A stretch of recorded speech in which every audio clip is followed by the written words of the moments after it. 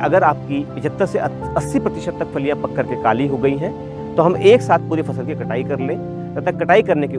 उपरांत फ़सल को खेत में ही सूखने के लिए फैला दें, तथा दो से तीन दिन सूखने के पश्चात अपनी फ़सल की मड़ाई कर लें और उसको साफ़ करने के पश्चात स्वच्छ बोरों में अथवा कंटेनर में पैक करके रख लें। तो इस प्रकार से अगर आप इस प्रजाति को प्रयोग में लाते हैं, तथा साथ ही बताई गई क्रियाओं को अमल में लाते हैं तो एक बहुत ही अच्छी मूंग की फ़सल आप उगा सकते हैं तथा अच्छा लाभ प्राप्त कर सकते हैं। धन्यवाद।